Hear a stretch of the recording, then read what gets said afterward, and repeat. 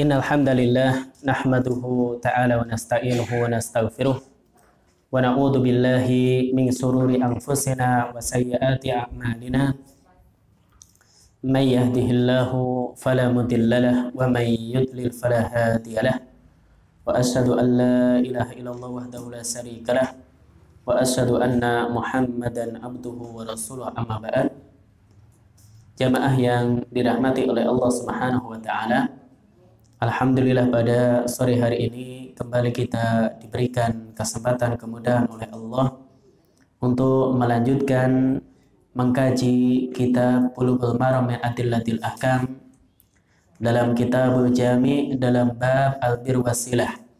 Dan pembahasan kita pada sore hari ini memasuki hadis yang ke-9 yang disebutkan oleh Al-Hafidh Ibn Hajar rahimahullah ta'ala di dalam bab ini. Yang hadis ini menjelaskan tentang at-targhib fi badlil fi badlil mahruf. Hendaknya seorang dia berusaha untuk mengerjakan sesuatu yang baik atau sesuatu yang ma'ruf. Qala al-muallif rahimahullah berkata Al-Hafidh Ibn Hajar semoga Allah merahmati beliau An Jabirin radhiyallahu anhu qala. Dari Jabir bin Abdullah semoga Allah meridainya beliau mengatakan qala Rasulullah sallallahu alaihi wasallam. Rasulullah sallallahu alaihi wasallam bersabda kullu ma'rufin sedekah semua yang ma'ruf itu merupakan sedekah. Ini semua yang baik itu sedekah akhrajahul Bukhari. Hadis ini dikeluarkan oleh Al-Imam Al-Bukhari. Al-Imam Al-Bukhari membawakan hadis ini dalam Kitabul Adab dan beliau masukkan dalam bab kullu ma'rufin sadaqah. Semua yang ma'ruf, semua yang baik itu bernilai sedekah. Jadi bernilai sedekah. Maka Kata Syekh Abdul Aziz bin Bas rahimahullah taala ketika beliau mengomentari hadis ini beliau katakan hada amun fi kulli syai'in yu'addu ma'rufan fil urf. Maka hadis ini umum mencakup segala sesuatu yang dianggap baik fil urf menurut adat. Min kalimatin thayyibah bisa jadi berupa ucapan yang baik au min safaatin hasanah atau memberikan pertolongan yang baik atau selainnya min wujuhil khair dari kebaikan-kebaikan yang ada. Kulluhu yu'tabaru sodakotan ala akhihi. Semua ini terhitung sebagai sedekah bagi pelakunya. Kenapa? Lima fihi min jam'il qulub wa ta'lifiha wa taqarubiha. Karena perbuatan tadi bisa mengumpulkan atau menggabungkan hati. Demikian juga menimbulkan kasih sayang dan kedekatan hati. Sehingga ini termasuk bernilai sedekah bagi pelakunya. Kemudian kata saya Abdullah Al-Fauzan hafizahullah taala dalam Minhatul Alam beliau katakan kullu ma'rufin. Sedekah apa itu ma'ruf Wal ma'rufu yang dimaksud ma'ruf adalah ismun jami'un likul lima fihi naf'un lil akharin. Sebuah nama yang mencakup segala sesuatu fihi naf'un lil akharin. Yang isinya memberi manfaat bagi orang lain. Min kaulin au fi'lin. Baik berupa perkataan ataupun perbuatan. Jadi segala sesuatu yang memberi manfaat bagi orang lain baik itu berupa perkataan kita atau perbuatan kita maka itu disebut dengan al-ma'ruf. Fayadkhulu fi maka masuk dalam definisi ma'ruf kullu naf'in badani aw mali aw amali. Itu setiap manfaat yang terkait dengan badan, harta atau amal au taujihin lil khairin. Atau kita memberikan petunjuk kepada orang lain li khairi dini au maslahatin dunyawiyah. Untuk kebaikan agama atau kebaikan dunia. Maka ini semuanya disebut dengan ma'ruf. Jadi dikatakan al-ma'ruf dia segala sesuatu yang bisa mendatangkan manfaat bagi orang lain baik berupa perkataan atau perbuatan dan kemanfaatan ini bisa bentuknya naf'un badani yaitu kembalinya ke badan seorang atau karena harta atau amalan atau sekedar taujihun li khair seorang dia memberikan pengarahan bagi orang lain untuk melakukan kebaikan. Mintu al kalimah thayyibah seperti perkataan yang baik wal isanu ilal khalqi atau berbuat baik kepada manusia bilmal dengan harta yang kita miliki. Au bilja atau kedudukan yang kita miliki pangkat yang kita miliki. Au bil ada atau kita menolong orang lain au irsadin atau memberi petunjuk kepada orang yang sesat.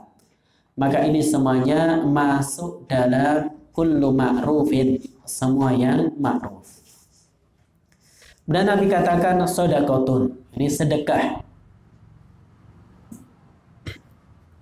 Kata saya Abdullah Al-Fauzan apa itu sedekah? Beliau katakan aslu sodakoh Sedekah itu asalnya ma yukhrijul mar'u min malihi lillahi ta'ala. Harta yang dikeluarkan seseorang di jalan Allah, itulah sedekah. Jadi sedekah itu ma yukhrijul mar'u min malihi lillahi ta'ala. Jadi harta yang dikeluarkan oleh seseorang lillah untuk Allah. Wa yadkhulu fi dalika maka masuk dalam hal ini as-sadaqah al-wajibah wal mandubah. Sedekah yang wajib dan yang sunnah. Maka sedekah itu terbagi menjadi dua tidak setiap sedekah itu sunnah. Tidak. Ada sedekah yang diwajibkan.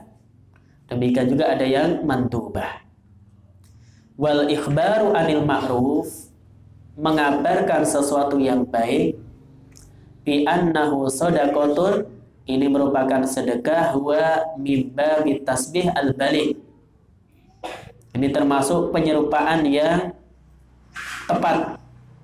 Wal makna maknanya adalah anna fi'lal ma'rufi lahu ajrun ka ajri sadaqah nah ini makna apa? Makna sabda nabi kullu ma'rufin sadaqah setiap yang ma'ruf itu bernilai sedekah maknanya adalah anna fi'lal ma'ruf melakukan yang ma'ruf lahu ajrun akan dapat pahala ka ajri sodako sebagaimana pahala sedekah. Maka kalau orang dia melakukan perkara yang ma'ruf tadi yaitu sesuatu yang bermanfaat bagi orang lain itu baik dengan sekedar ucapan yang baik atau perbuatannya meskipun tidak mengeluarkan harta maka bernilai pahala seperti sedekah jadi pahalanya seperti sedekah. Kemudian faedah yang bisa kita ambil dari hadis ini. Hadal hadis, hadis ini min jawami'il kalim allati u'tiha an-nabiy sallallahu alaihi wasallam. Hadis ini termasuk jawami'ul kalim, yaitu ucapan yang ringkas akan tapi maknanya mendalam yang diberikan oleh Allah Subhanahu wa taala kepada nabi kita Muhammad sallallahu alaihi wasallam. Fatajtami'u al-ma'ani al-katsira, maka mengumpulkan makna yang banyak. Wal wasaya an-nafi'ah, wasiat yang bermanfaat. Tahta al-fadin muhtasaratin watihah. Itu dengan redaksi yang ringkas dan jelas. Maka itu makna jawami'ul kalim. Yaitu al-ma'ani al-kathirah dia maknanya banyak wal wasaya an-nafi'ah wasiatnya bermanfaat tapi dengan alfad muhtasar. Jadi alfadin muhtasar. Redaksinya ringkas wadihah dan jelas. Kenapa? Li'anna fihi. Karena di dalam hadis ini hathan wa targhiban fi badlil ma'ruf. Terdapat motivasi dalam mengusahakan yang baik, dalam menebarkan kebaikan. wa kullu ma fihi naf'un lil akharin dan segala sesuatu yang bisa bermanfaat bagi orang lain. Dia di sini mendorong bagi seorang muslim supaya dia badlul ma'ruf berusaha melakukan kebaikan. Demikian juga naf'un lil akharin, memberi manfaat bagi orang lain. Jadi berusaha memberi manfaat bagi orang lain min kalimatin thayyibah dengan ucapan kita yang baik. Seperti apa? Kata smitil atis. Kita mendoakan orang yang bersin apabila dia mengucapkan Alhamdulillah. Apa doanya? Yarhamukallah. Ini namanya tasmid al-atis. Dan ini termasuk perbuatan ma'ruf dan ini bernilai sedekah di sisi Allah Subhanahu wa taala. Yang lainnya adalah apa yang bernilai sedekah dan ini kebaikan? Wal bad'u salami waroti memulai mengucapkan salam dan kita menjawab salam dari orang lain. Maka hukum memulai mengucapkan salam ketika bertemu dengan seorang muslim adalah mustahab sunnah dianjurkan. Adapun menjawabnya hukumnya wajib. Adapun menjawabnya hukumnya wajib. Dan ini termasuk kebaikan wa thana'u muslim bihaqqin wa nusihi wa irsadi. Kita memberikan pujian kepada seorang muslim dengan pujian yang benar, memberikan nasihat kepadanya, memberikan petunjuk kepadanya, maka ini termasuk ma'ruf, termasuk perbuatan yang baik. Apa contoh yang lain? Wa minal ma'ruf, termasuk perkara yang ma'ruf, al-basa satu indal Jadi al-basasa indal yaitu bermuka ceria tatkala bertemu dengan saudara kita. Jadi nggak cemberut ketika ketemu teman. Nah, ini termasuk ma'ruf dan ini bernilai sedekah di sisi Allah Subhanahu wa taala. Artinya ajruhu ka ajri sedekah. Jadi pahalanya seperti pahala yang sedekah. Maka kalau ibu-ibu adik-adik bertemu dengan saudaranya kemudian senyum berwajah ceria, dan dia mendatangkan atau menghadirkan hadis ini di dalam hatinya. Kenapa dia senyum tatkala ketemu saudaranya? Karena yang termasuk perbuatan baik, maka dia akan mendapatkan pahala. Itu pahalanya sebagaimana pahala sedekah.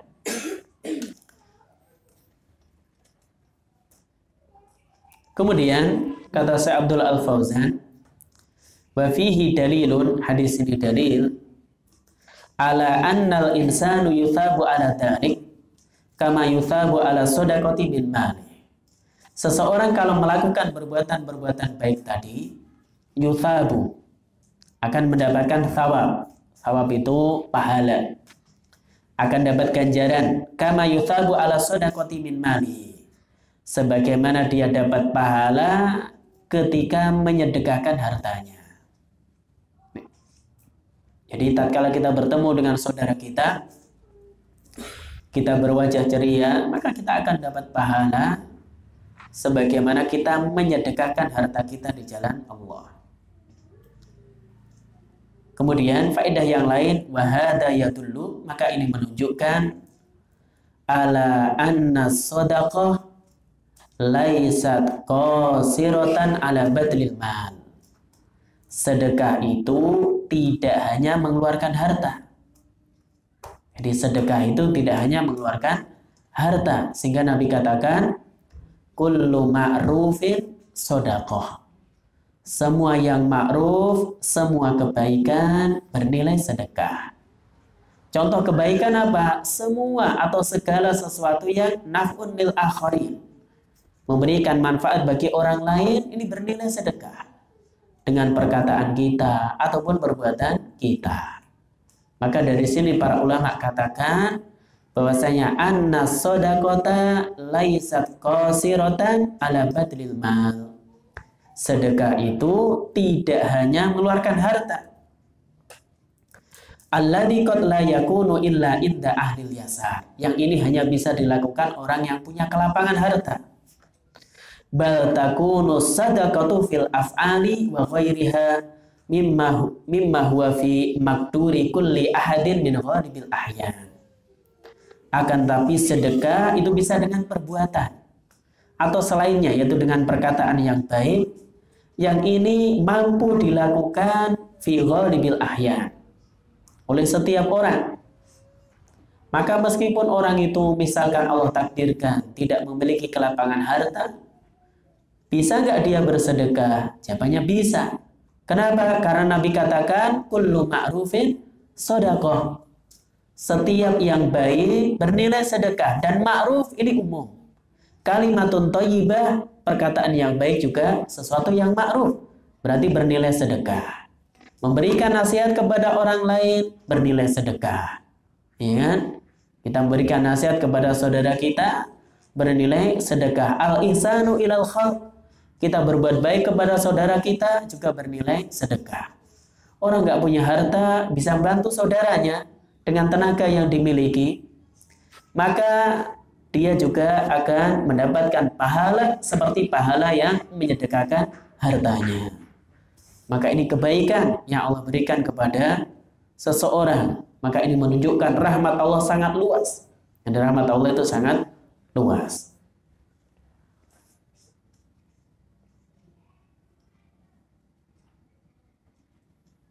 Kemudian faedah berikutnya wahada min fadlillahi ta'ala ala ibadi. Hadis ini menunjukkan keutamaan yang Allah berikan kepada hambanya haitsu yassara lahum abwabal khair di mana Allah bukakan, Allah mudahkan abwabal khair. Apa itu abwabal khair?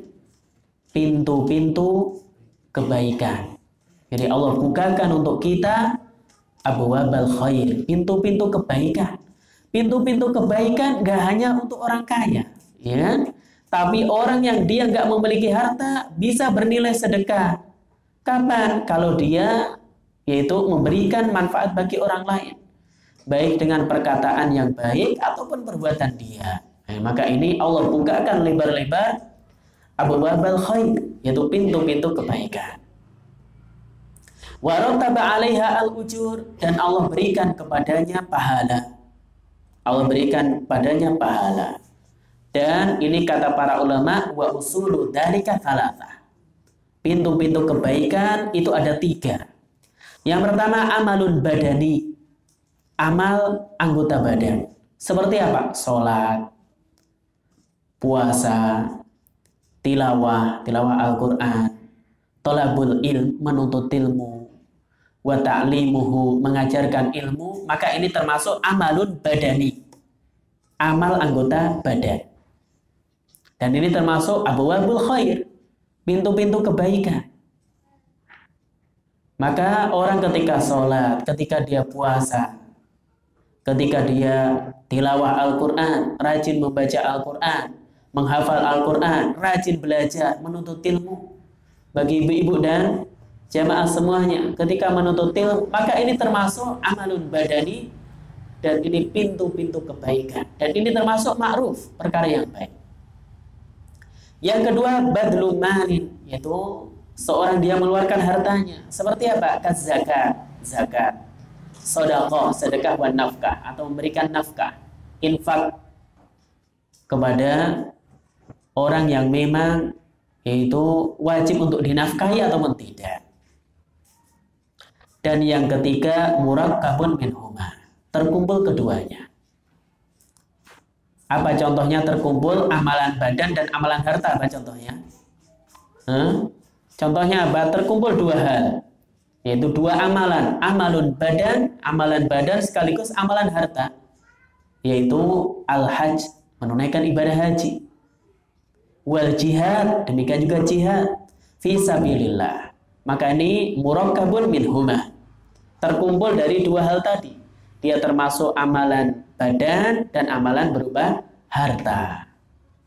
Paham sampai sini ya? Maka ini eh, beberapa penjelasan yang bisa kita ambil dari hadis ini yaitu kullu ma'rufin sodako. Setiap yang baik bernilai sedekah. Jadi bernilai sedekah.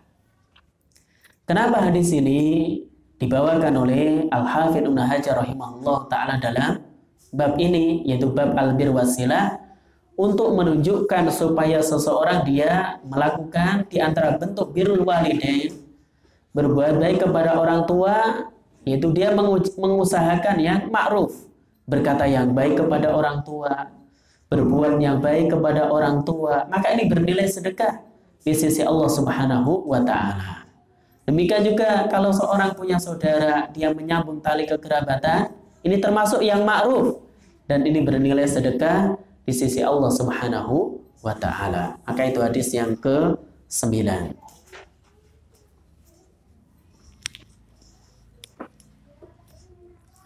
Kemudian jamaah yang dirahmati oleh Allah Subhanahu wa taala, sekarang kita masuk hadis yang ke-10 yaitu tentang istihbabu talaqatil wajhi indal liqa.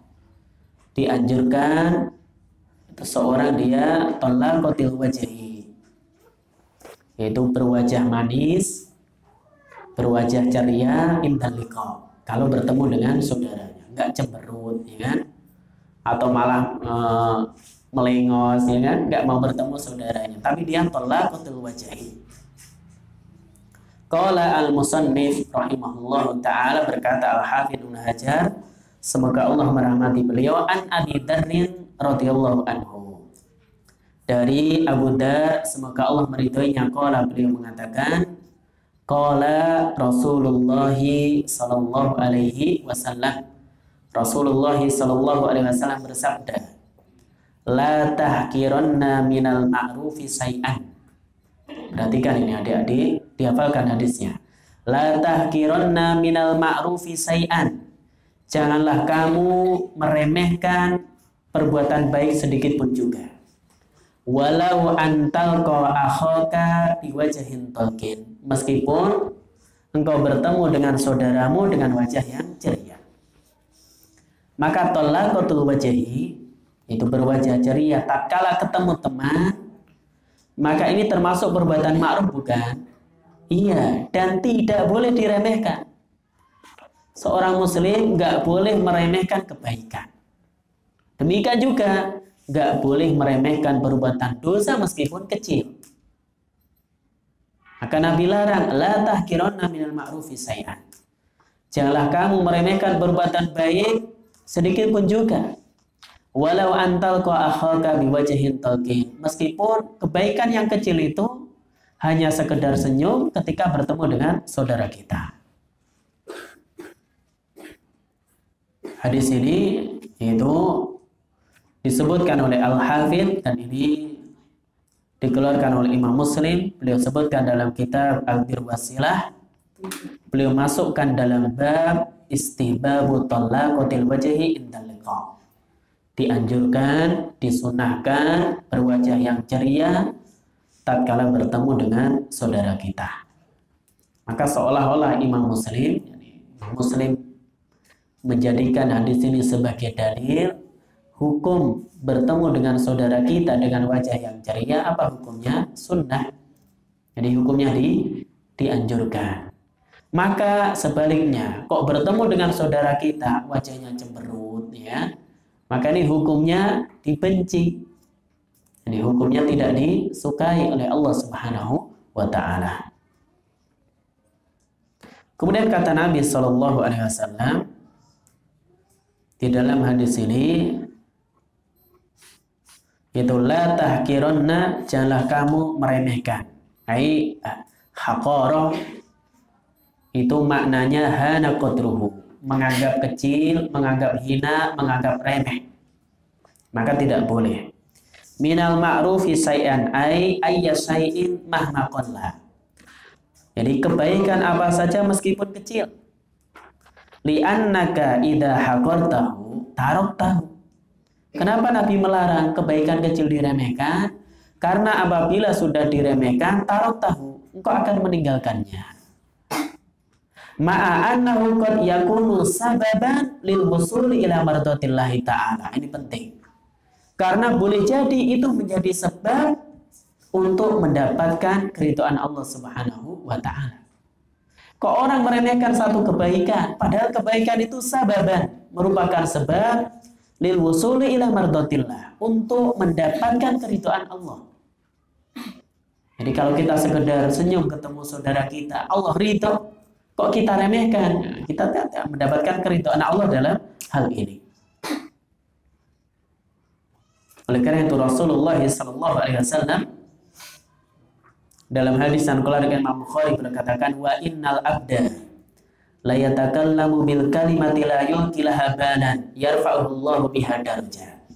Seorang hamba dia mengucapkan satu ucapan yang dia tidak menyangkanya.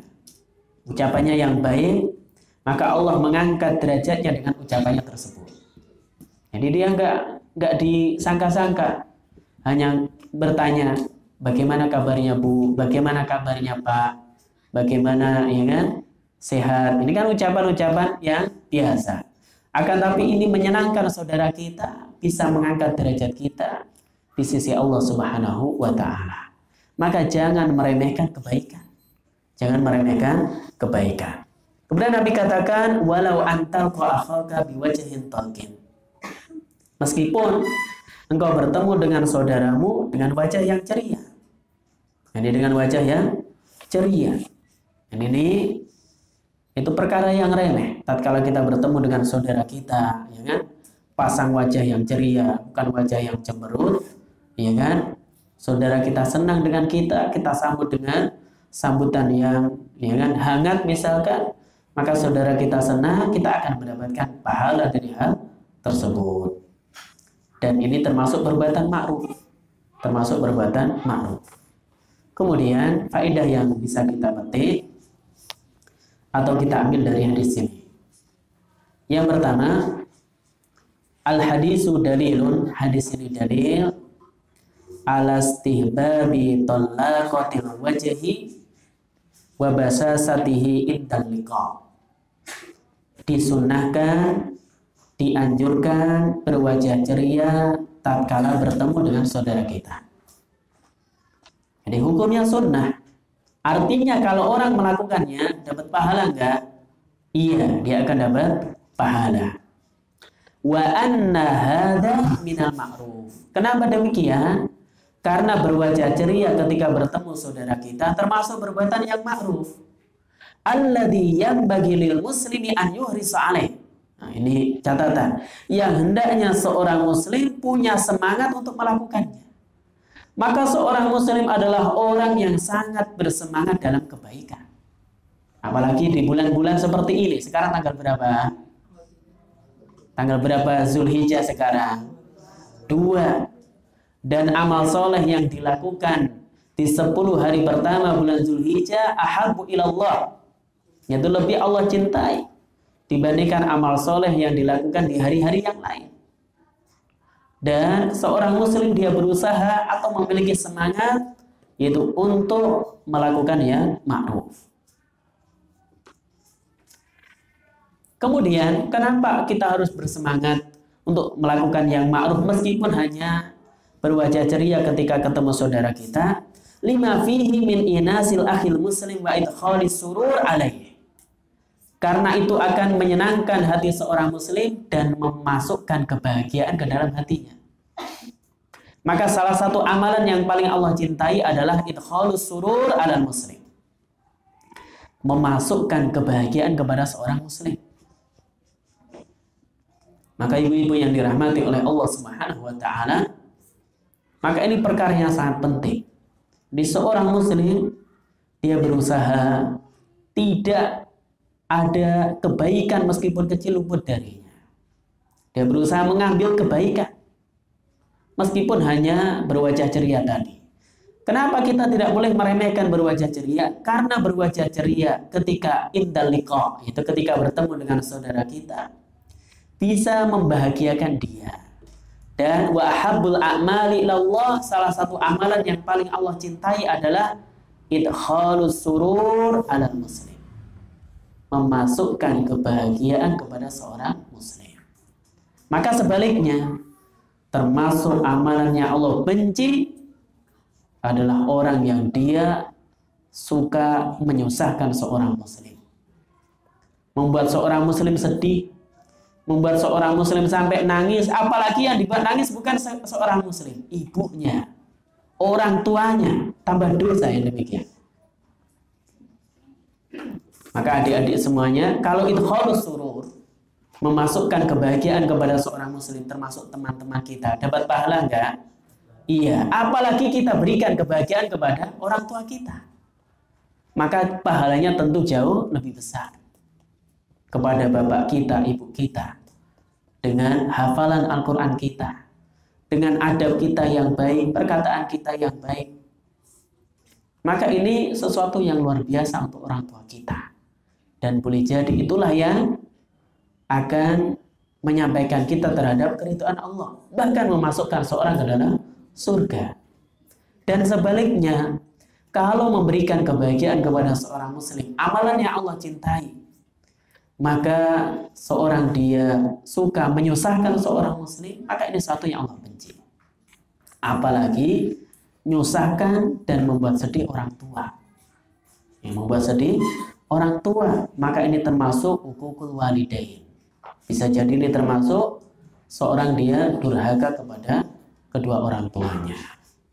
Maka kalau kita belajar kita berjami itu di akhir-akhir kita bulughul maram ini yang luar biasa hadis-hadis yang disebutkan oleh Al Hafidh Ibnu Hajar rahimahullah taala supaya kita memiliki akhlak yang baik, supaya kita memiliki adab yang yang baik. Dan ini terdapat isyarat seorang ketika dia mengetahui fikih, belajar fikih toharo, fikih sholat, fikih puasa, dia menjadi orang yang alim dalam masalah hukum, maka hendaknya dia juga memiliki akhlak yang baik. Maka semakin lama ngaji, semakin tahu hukum, maka harusnya semakin memiliki adab yang, yang baik, akhlak yang baik. Kok sudah ngaji, menghafal Al-Quran ya, sama orang tuanya nggak baik, sama temannya nggak baik, maka ada kekeliruan dalam belajar dia. Maka ada kekeliruan dalam belajarnya. Kemudian yang berikutnya wadafu al-ihasi anhu dan kita mencegah yaitu menyakiti seorang muslim. Kemudian faedah berikutnya Fil hadisi dalilun, hadis ini dalil annahu bagi lil insan an yuhrisa ala fi'lil ma'ruf. Hendaknya seseorang bersemangat untuk melakukan kebaikan. Maka hendaknya seorang muslim punya hirs, punya semangat yang kuat ala fi'lil ma'ruf untuk melakukan kebaikan. Wala siyama terlebih lagi makana muta'alliqan bil akharin. Kebaikan yang terkait dengan orang lain. Jadi kalau kebaikan yang terkait dengan diri kita sendiri itu amal soleh yang kembalinya kepada kita. Sholat, puasa. Tapi kebaikan yang manfaatnya bisa diambil oleh orang lain. Kita sedekah. Kita mengajarkan ilmu. Maka hendaknya lebih apa? Lebih bersemangat lagi. Kenapa? Lima tabu alaihi minama soleh al-adim karena dampaknya maslahat besar. Jadi buah kalau orang dia mengajarkan kebaikan dan ini terkait manfaatnya kepada orang lain, ini terdapat al-masalih al-adimah, maslahat yang besar. Wa alla yahkiru minal ma'rufi say'an. Dan hendaknya seorang muslim tidak meremehkan kebaikan sedikit pun juga. Ini enggak boleh kita meremehkan kebaikan meskipun sedikit. Itu faedah yang keberapa? Kedua. Sekarang al-thalis, faedah yang ketiga. Ini al-faidah al-thalithah. Al-hadisu dalilun, hadis ini dalil ala kamali hadhihi syariati wa sumuliha. Syariat Islam itu sempurna dan menyeluruh. Maka dalil syariat Islam itu sempurna. Wa annaha ja'at bikulli ma fihi salahun nas syariat Islam itu datang yang isinya solahun nas, kebaikan untuk manusia. Wa tauhidu kalimatihim mengumpulkan mereka, menyatukan mereka. Wa jam'i samlihim wa isa'atil mahabbati bainahu dan untuk mewujudkan rasa cinta yang ada di antara mereka, di antara kaum muslimin. Sehingga Syariat Islam mengajarkan berwajah ceria tatkala bertemu. Dan tatkala ber, Bertemu kenapa? Bisa menumbuhkan kasih sayang dan rasa cinta yang ada di antara kaum kaum muslimin. Maka ini hadis yang ke-10. Kita lanjutkan satu hadis lagi. Itu hadis berikutnya terkait al-wasiyah bil ihsani ilal jar walau bil qalil. Perintah atau wasiat berbuat baik kepada tetangga walau bil qalil, meskipun dengan memberi hadiah yang sedikit. Ini termasuk perbuatan albir, yaitu perbuatan baik.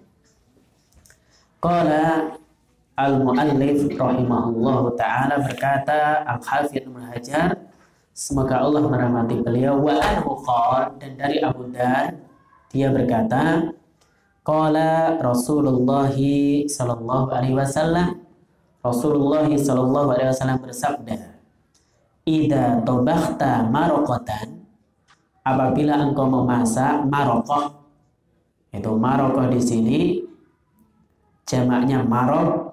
Marok itu alma alladhi tabakha fihi lahmu wa nahmuhu. Yaitu kuah yang tak kala seorang dia masak daging. Berarti apabila engkau masak daging yang berkuah fa'aftir ma'aha maka perbanyak airnya perbanyak kuahnya. Wata'ah jironaka. Dan berikanlah hadiah kepada tetanggamu akhrajahuma muslimun. Ini hadis ini keduanya dikeluarkan oleh Imam Muslim. Itu hadisnya Abu Dar tadi dan demikian juga hadis hadis ini.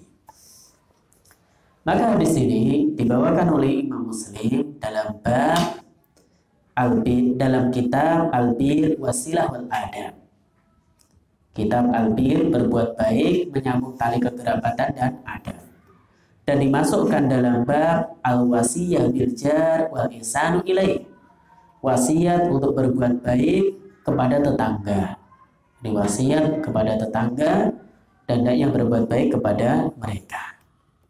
Di dalam hadis ini Nabi katakan ida tobakhta marokoh. Apabila kamu masak daging daging yang ada kuahnya. Ini daging yang ada kuahnya, maka di sini fa'athir ma'aha. Kuahnya diperbanyak. Meskipun dagingnya hanya satu on, ya. dagingnya sedikit, ya kan, kuahnya di diperbanyak untuk bau-bau saja, ya kan. Ya, tapi Nabi perintahkan kuahnya diperbanyak. Wa ta'ahad jironaka dan beri hadiah tetanggamu ngasih hadiah cuma kuah ya kan kepada tetangga kita. Tapi hadis ini menunjukkan apa? Hendaknya seorang berbuat baik kepada tetangga meskipun ngasih hadiah satu yang kecil, sesuatu yang remeh, sesuatu yang sedikit. Nah, ini maksud yang diinginkan oleh Nabi Shallallahu Alaihi Wasallam. Jadi yang diinginkan oleh Nabi Shallallahu Alaihi Wasallam demikian, yaitu supaya seorang dia itu berbuat baik dengan tetangganya. Maka faedahnya bisa kita ambil dari hadis ini. Yang pertama, fil hadithi hathun ala makarimil akhlak. Hadis ini terdapat motivasi supaya seseorang memiliki akhlak yang mulia. Jadi ada dorongan supaya seseorang dia berhias dengan akhlak yang mulia. Wa irsadi lima hasiniha. Demikian juga dia memberi petunjuk kepada akhlak yang baik. Lima yatarattabu ala dzalika minal mahabbah wal ulfah. Karena akhlak yang baik, sekedar memberi hadiah kepada tetangga, ini bisa menumbuhkan rasa cinta dan kasih sayang. Faljaru, maka seorang tetangga makmurun bil ihda'i ila jarihi. Maka diperintahkan untuk memberi hadiah kepada tetangganya walau kana dalika sayan yasira. Meskipun itu sesuatu yang sedikit, sesuatu yang dianggap remeh, sesuatu yang kecil, maka dianjurkan memberi hadiah kepada tetangga. Apabila memberi hadiah sama tetangga dianjurkan, apalagi beri hadiah kepada orang tuanya, ya. Maka seorang anak yang dia mungkin sudah bekerja, dia memberi hadiah kepada orang tuanya, tentu pahalanya lebih besar. Kenapa?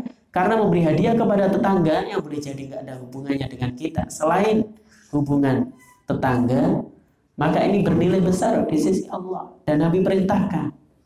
Apalagi orang tua kita, apalagi orang tua kita tetangga kita. Ya. Jadi rumahnya sebelahan sama rumah orang tuanya. Ya.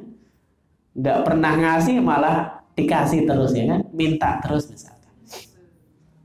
Masa apa tadi ini ya kan? Ya kan? Dia malah minta terus ya. Tidak demikian tentunya seorang anak. Maka dia berusaha memberi hadiah kepada orang tuanya. Dan ini termasuk makarimul akhlak. Akhlak yang yang baik. Wala siyama idza kana jaruhu yata'adda bi kitari qadri. Au tasir ilaihi raihatan raihatan tumaihi. Terlebih lagi apabila tetangganya tersebut mendapatkan bau dari makanannya cuma dapat baunya, harum masakannya, nggak dapat masakannya. Ya. Maka kalau seorang masak dan dia yakin itu bau masakannya dicium tetangganya, kasih itu tetangganya, ya, kasih kepada tetangga. Maka ini termasuk perbuatan yang ma'ruf, perbuatan yang baik kepada tetangga dan ini diperintahkan oleh Nabi kita Muhammad SAW. Faedah berikutnya. Yuqasu ala ma fil hadis, dikiaskan dengan hadis ini, kullu bagi ihda'u, semua yang layak untuk dihadiahkan. Kalau yang dihadiahkan tadi hanya sekedar kuah, ya. Dagingnya sedikit, kuah saja kasih tangga. Kalau masak daging sedikit, perbanyak saja kuahnya bisa supaya bisa rata diberikan kepada tangga.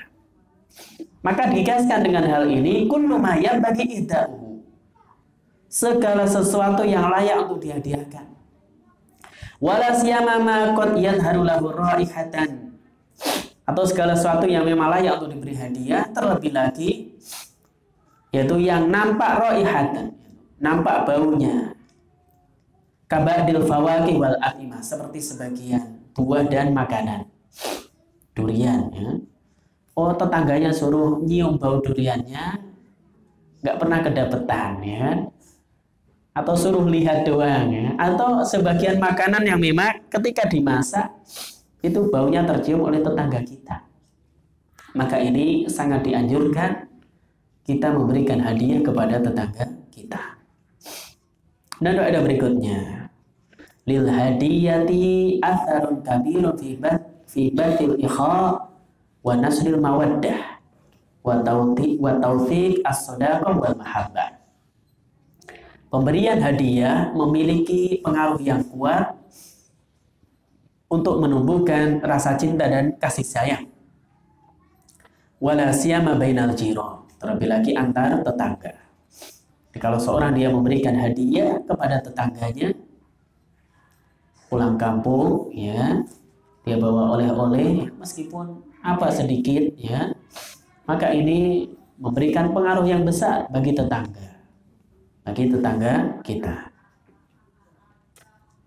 Wal ihda'u min asbabil ulfah wa taqor wa izalatil wasa.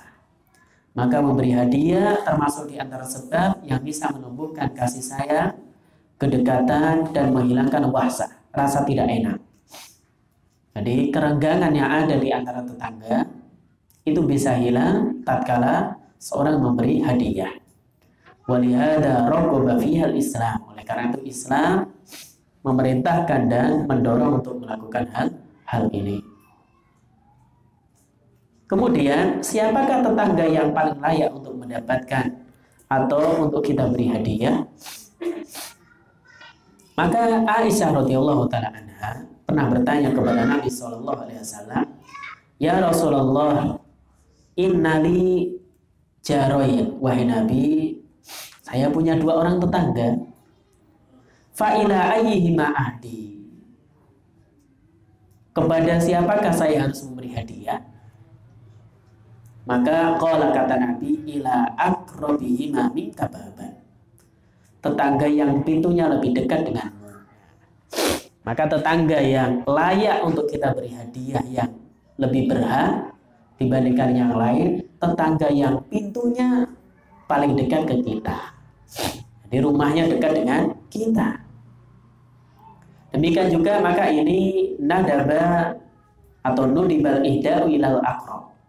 Maka dianjurkan untuk berhadiah kepada tetangga ter terdekat. Kenapa? Karena tetangga terdekat tahu apa yang masuk ke kita, kita bawa apa tahu. Ya. Kita masa apa boleh jadi tahu. Ya. Maka sangat dianjurkan kita memberi hadiah kepada tetangga yang terdekat. Kemudian faedah terakhir, dan terakhir yang bisa kita sampaikan dalam kajian kita sore hari ini yang bagi lil jari al muhdi alla yamna'u jarahu say'an istighlalan lahu wa ihtiqaran lahu bal yajudu bima tayassar al muhda ya. tetangga yang diberi hadiah maka hendaknya dia tidak menolak pemberian dari tetangganya tersebut atau ihtikoran lahu. Atau meremehkannya, meremehkan pemberiannya. Atau ini makna yang tepat seorang tetangga tidak perlu dia ketika memberikan hadiah kepada tetangganya harus sesuatu yang mahal tapi apa ya judu bima tayasar dia dermawan, dia berikan hadiah apa yang memang bisa dia lakukan. Jadi tidak perlu memberikan hadiah yang sesuatu yang mahal atau sesuatu yang dianggap bernilai oleh tetangga kita. Akan tapi kita berikan hadiah kepada tetangga kita bima tayasa dengan sesuatu yang memang mudah ada pada diri kita. Demikian juga wayang bagi iljaril muda tetangga yang dihadiahi ini mudah ilaih yang diadai an yakbala dzalika bikulli surur. Naiknya dia menerima dengan hati yang bahagia wa yukafi alaihi walau bisukri wa doa dan dia balas meskipun sekedar ucapan terima kasih dan doa. Jazakallahu khairan ya, maka ini doa dan jangan meremehkan. Maka tetangga yang ingin memberi hadiah jangan pekewo harus hadiah yang mahal, yang bernilai apa yang kita punya kita mampu kita hadiahi kepada tetangga kita. Dan sebaliknya, kalau kita sebagai tetangga jangan meremehkan pemberian hadiah orang lain ya. Oh sekedar pete ya kan misalkan atau apa gitu kan. Sedikit ya kan atau kue apa. Nggak boleh meremehkan. Nah, ini kebaikan yang diberikan tetangga kita kepada kita kita terima yaitu pikul suruh dengan hati yang lapang, dengan hati yang bahagia. Maka ini menunjukkan Islam sangat memperhatikan hal ini.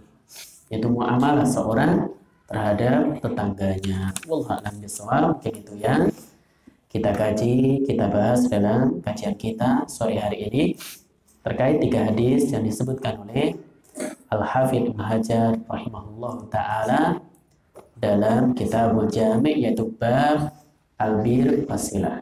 Wallahu a'lam bishawab. Ada pertanyaan?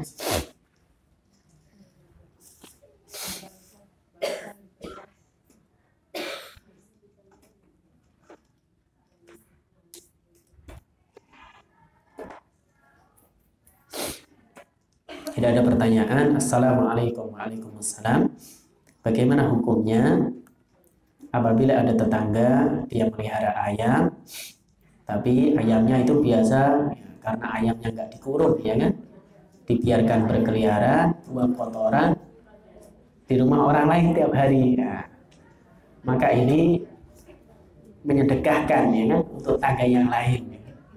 apa itu perbuatan dosa itu tetangga yang memelihara ayam tersebut berdosa maka terkait dengan hal ini Allah alam dilihat apabila tetangga tersebut dia sudah berhati-hati dalam masalah ini ayamnya tidak dibiarkan keluyuran ya kan? dan dia tahu ya kan di sam kanan kirinya itu atau depan belakangnya ada tetangga dan dia berusaha semaksimal mungkin ayamnya tidak misalkan buang kotoran di rumah tetangganya maka dia tidak berdosa. Karena dia sudah berusaha adapun dia tahu ini ya tangga ini tahu ayamnya memang dibiarkan. Dan dia tahu ayamnya tersebut punya potensi potensi besar untuk ngotori rumah tetangganya. Bahkan tiap hari. Tapi dia cuek ya. Ini orangnya cuek maka bisa jadi karena keteledoran dia dia berdosa akan hal ini. Akan dilihat dalam hal ini dirinci boleh jadi dia sudah berusaha untuk memelihara ayamnya. Tapi ayamnya ucul ya. Keluar tanpa sepengetahuan dia ya. kemudian buang kotoran di halaman tetangganya. Tiap hari dibersihkan sama tetangganya nggak tiap hari sih kadang-kadang misalkan. Maka ini dia tidak berdosa. Adapun orangnya tahu tapi cuek saja. Ini ayamnya jelas memang dilepas ya. Ayamnya dilepas atau bahkan ya disuruh sana ke tetangga saya supaya dapat makanan ya. Kemudian buang kotoran di situ. Dan dia dalam hal ini tasahul bermudah-mudahan. Maka dalam hal ini termasuk perbuatan dolim kepada tetangga. Berarti dia telah berbuat dolim kepada tetangga. Maka tetangga yang didolimi, ya, dia bisa dapat pahala dengan sabar, ya kan? Bersihkan kotorannya. Tiap hari dia bersihkan kotoran, ya kan? Ngepel rumahnya misalkan. Kalau dia sabar dapat pahala. Akan tapi ya lebih baik disampaikan ke tetangganya. Bisa jadi dia berdosa juga Kenapa? Habis itu dia ngerasani tetangganya ya kan. Tangganya digibai. Ini punya ayam ya. Dibiarkan saja. Boleh jadi dosa yang awalnya tetangganya itu berdosa dibalas dengan dosa ya karena dia gibai tetangganya. Maka yang baik dilihat kalau memang itu tetangganya teledor diingatkan, Pak, Bu, ayamnya ya tiap hari ya kan sering ya kan buang kotoran di rumah saya ya saya harus membersihkannya maka lebih baik supaya tidak demikian dikurung ayamnya dikurung saya kira jelas Allah alam ada lagi?